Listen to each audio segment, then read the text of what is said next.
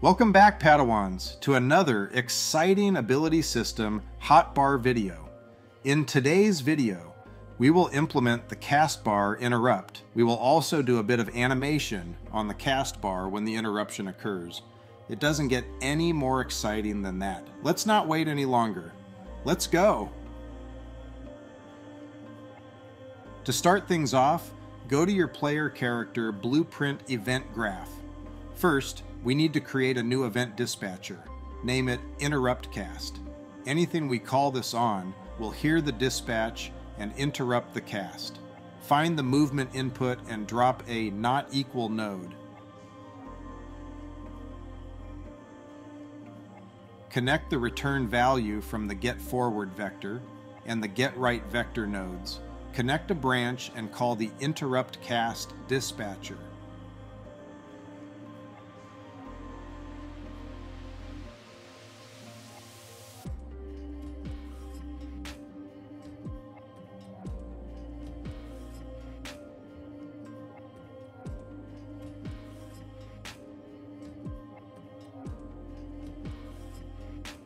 If you have the mouse movement code from my Jedi series video, copy these nodes and connect them up there as well.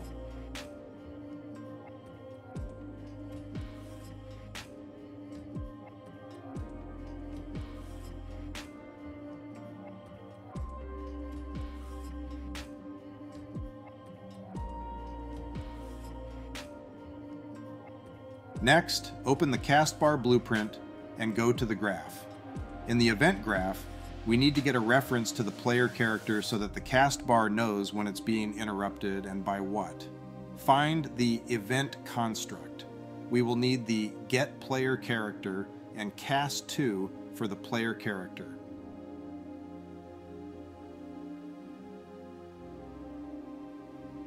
Promote this to a variable.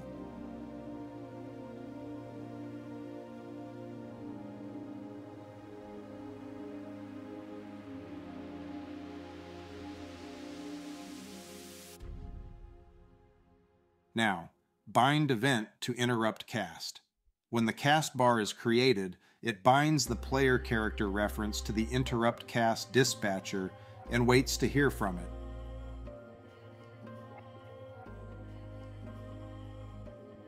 Pull from the event and create event.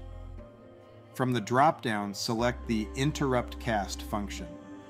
This will be the event the cast bar will follow when it hears the dispatch.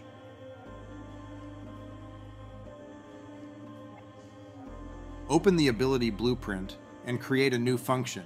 Name it interrupt cast.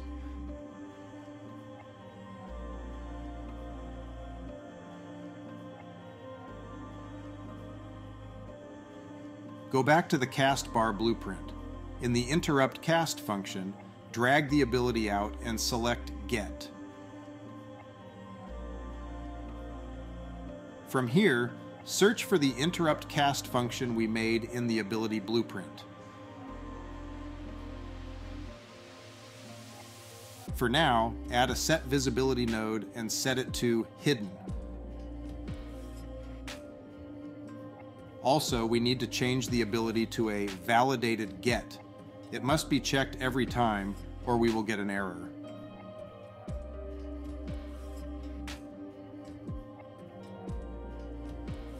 In the ability blueprint interrupt cast, we will tell the cast bar to destroy itself with the destroy actor node, if you want, and a print string to give you a notification of interrupted.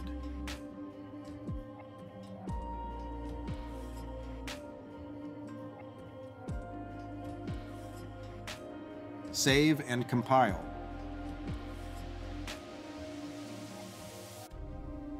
If I move with the keyboard keys, the cast is interrupted.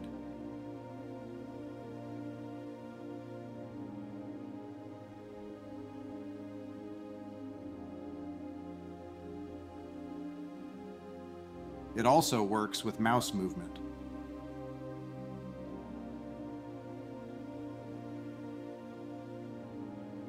We could end the video here, but let's add an animation to the cast bar to make it look better when interrupted.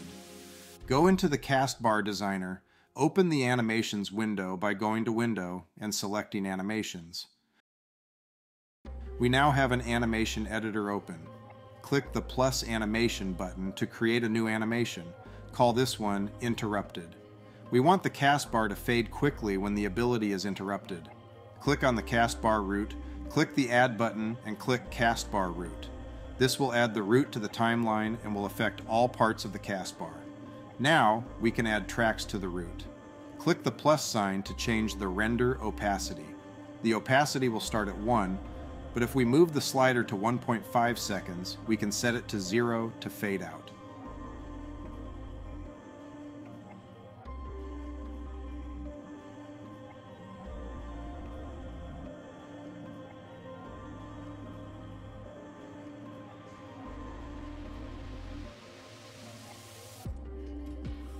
You can better see what is happening if you click out of the cast bar root.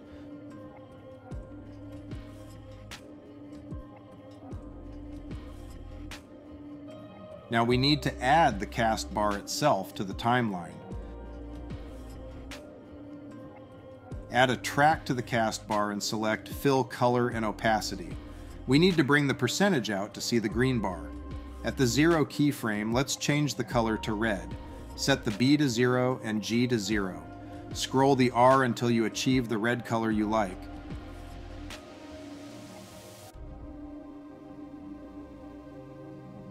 Add another track to the cast bar and add the percent. Set it to 1 to fill the bar. Test it out.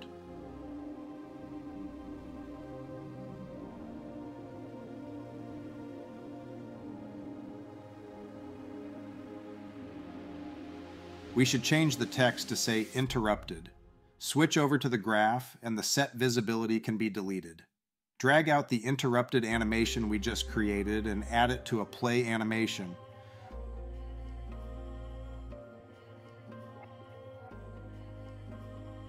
Next, get the ability name text and the set text function.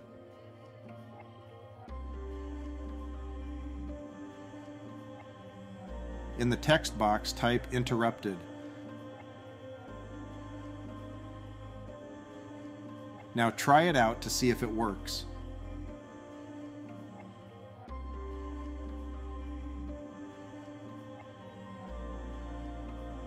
The progression of the cast bar still moves out. Also, I can only click on it once to make it work. Let's fix that. Basically, we don't have anything in the code to keep the tick event from running the timer. So get the cast timer and clear and invalidate timer by handle. That should keep the timer from running. Check it out.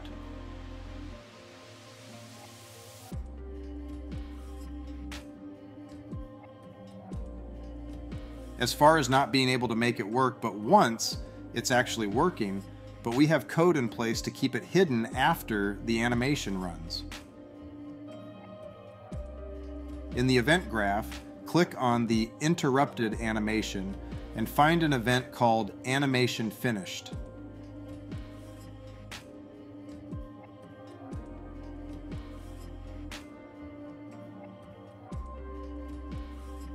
Get the set visibility and set it to remain hidden. Now we need to create another animation in the timeline to reset the cast bar. Add another animation in the cast bar designer and call it reset. Click on the cast bar and make sure the reset animation is highlighted as well. Add fill color and opacity once again. To match the original green, just click on the cast bar to make it set the RBG numbers if they aren't already. We don't have to key in any other frames other than frame 0. Now add the cast bar root. Give it the render opacity like before. Leave it at 1.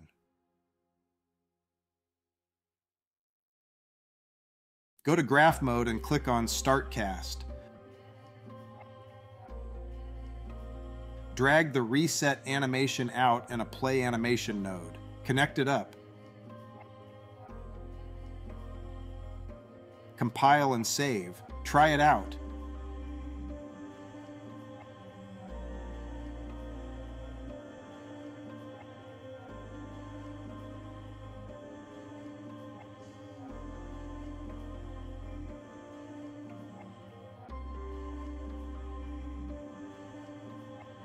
Great, another job well done. We've come a long way on this Ability Hotbar subseries, but there is more to come. Stay tuned.